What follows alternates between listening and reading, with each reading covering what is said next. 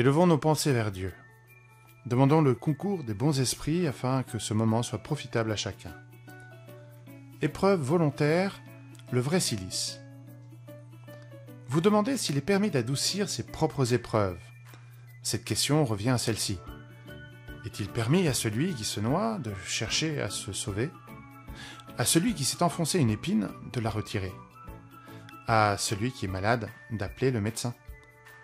Les épreuves ont pour but d'exercer l'intelligence aussi bien que la patience et la résignation.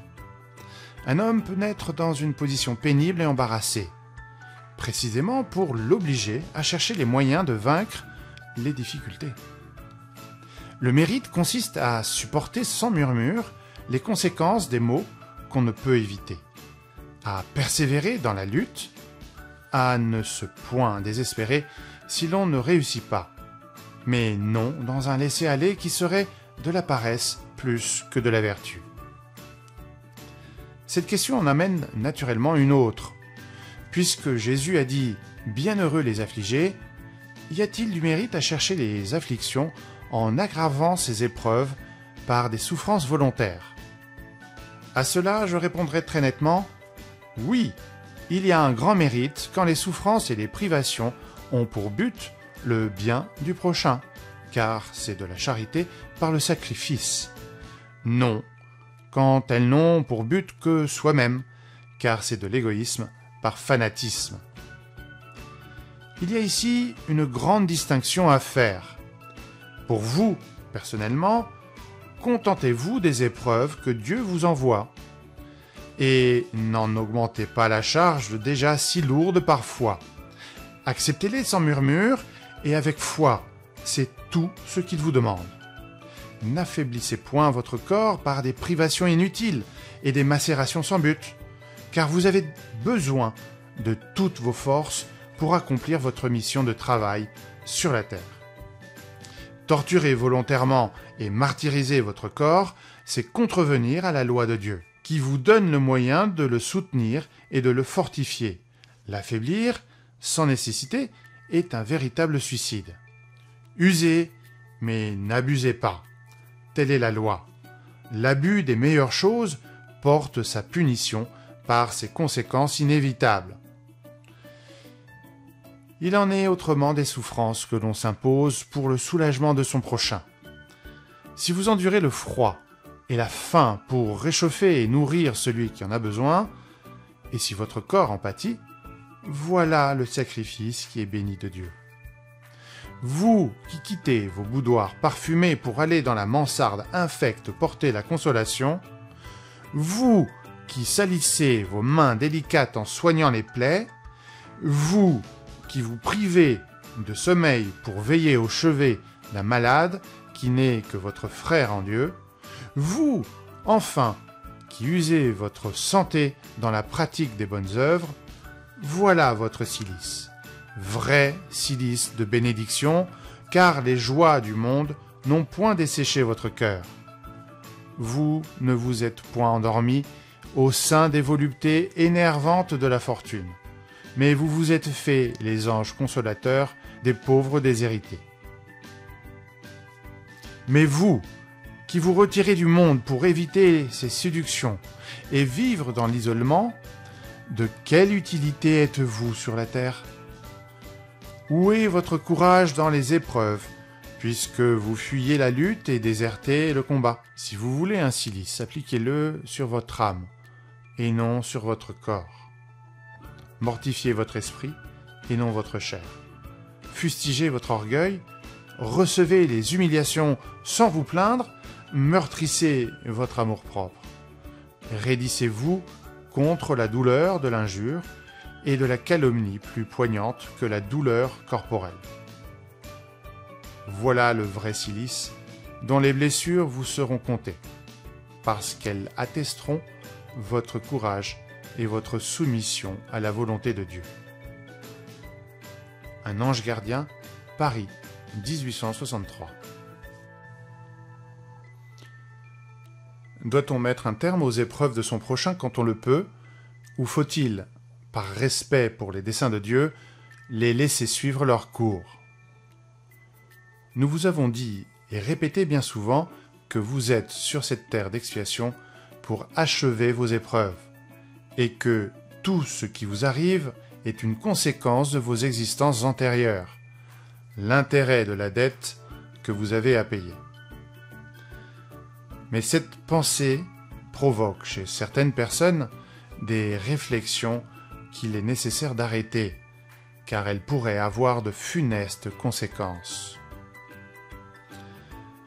Quelques-uns pensent que du moment qu'on est sur la terre, pour expier, il faut que les épreuves aient leur cours. Il en est même qui vont jusqu'à croire non seulement il ne faut rien faire pour les atténuer, mais qu'il faut au contraire contribuer à les rendre plus profitables en les rendant plus vives. C'est une grande erreur. Oui, vos épreuves doivent suivre le cours que Dieu leur a tracé. Mais connaissez-vous ce cours? Savez-vous jusqu'à quel point elles doivent aller? Et si votre Père miséricordieux n'a pas dit à la souffrance de tel ou tel de vos frères, tu n'iras pas plus loin. Savez-vous si sa providence ne vous a pas choisi, non comme un instrument de supplice pour aggraver les souffrances du coupable, mais comme un baume de consolation qui doit cicatriser les plaies que sa justice avait ouvertes? Ne dites donc pas, quand vous voyez un de vos frères frappé, c'est la justice de Dieu, il faut qu'elle ait son cours. Mais dites-vous, au contraire, voyons quel moyen notre Père miséricordieux a mis en mon pouvoir pour adoucir la souffrance de mon frère. Voyons si mes consolations morales, mon appui matériel, mes conseils ne pourront pas l'aider à franchir cette épreuve avec plus de force, de patience et de résignation. Voyons même si Dieu n'a pas mis en mes mains le moyen de faire cesser cette souffrance. S'il ne m'a pas été donné à moi comme épreuve aussi, comme expiation peut-être, d'arrêter le mal et de le remplacer par la paix. Aidez-vous donc toujours dans vos épreuves respectives et ne vous regardez jamais comme des instruments de torture. Cette pensée doit révolter tout homme de cœur, tout spirit surtout, car le spirit, mieux que tout autre, doit comprendre l'étendue infinie de la bonté de Dieu. Le spirit doit penser que sa vie entière doit être un acte d'amour et de dévouement. Que quoi qu'il fasse pour contrecarrer les décisions du Seigneur, sa justice aura son cours. Il peut donc, sans crainte, faire tous ses efforts pour adoucir l'amertume de l'expiation. Mais c'est Dieu seul qui peut l'arrêter ou la prolonger, selon qu'il le juge à propos. N'y aurait-il pas un bien grand orgueil de la part de l'homme de se croire le droit de retourner, pour ainsi dire, l'arme dans la plaie, d'augmenter la dose de poison dans la poitrine de celui qui souffre, sous prétexte que telle est son expiation? Oh, regardez-vous toujours comme un instrument choisi pour la faire cesser. Résumons-nous ici. Vous êtes tous sur la terre pour expier. Mais tous, sans exception, devez faire tous vos efforts pour adoucir l'expiation de vos frères, selon la loi d'amour et de charité. Bernardin, Esprit protecteur, Bordeaux, 1863.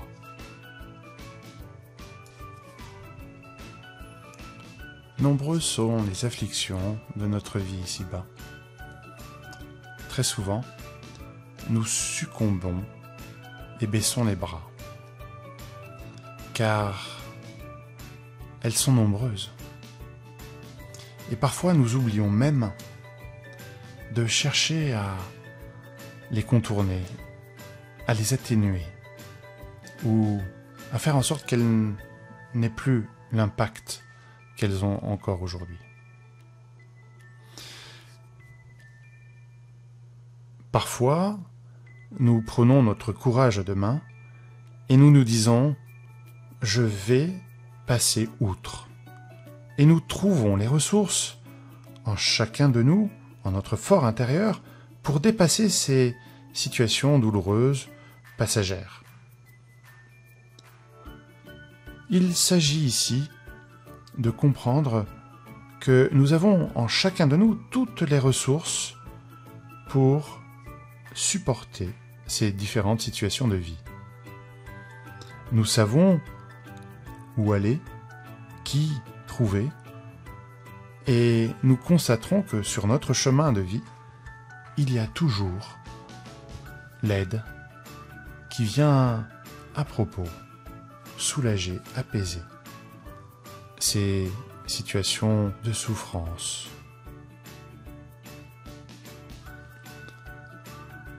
Il s'agit donc de chercher à apaiser et à comprendre pourquoi nous vivons cela et surtout comment ne plus vivre ces douleurs.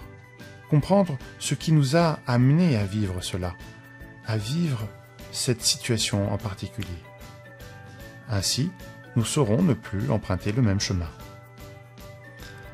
Il ne s'agit pas ici de chercher les causes profondes, celles qui ont eu lieu dans notre passé, parfois dans nos vies passées.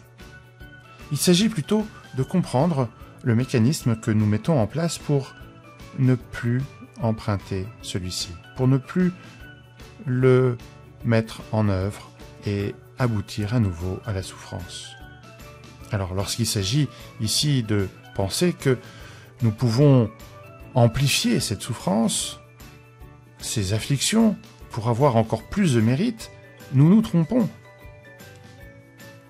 Nous nous trompons lorsque nous ne le faisons que pour nous, de façon égoïste, en pensant que nous en tirerons plus profit. Il s'agit ici de penser à l'autre, de pouvoir apaiser la souffrance de l'autre car lorsque nous faisons cela, nous mettons à notre crédit un bienfait bien plus important qu'on ne veut bien le croire. Il s'agit de faire le bien, d'être au service de son prochain, de son semblable, au service de l'humanité. Notre frère en humanité est là pour nous permettre de progresser. En venant auprès de lui, en identifiant la, misère humaine, nous allons faire un pas pour atténuer celle-ci, pour l'inviter à comprendre comment ne plus souffrir. Et c'est là une grande charité. Alors, comprenons que notre devoir est de nous rendre utiles, de pacifier, d'aider à cette pacification, et non le contraire. Avons-nous pensé aujourd'hui à cette pacification que nous avons pu apporter Et si nous ne l'avons pas fait, pensons à ces situations par lesquelles nous sommes passés et nous avons eu l'occasion d'apporter la paix. Nous pouvons aujourd'hui identifier toutes ces situations et dès à présent, dorénavant, faire en sorte de pouvoir les identifier toutes et de chercher à faire de notre mieux pour apporter la paix.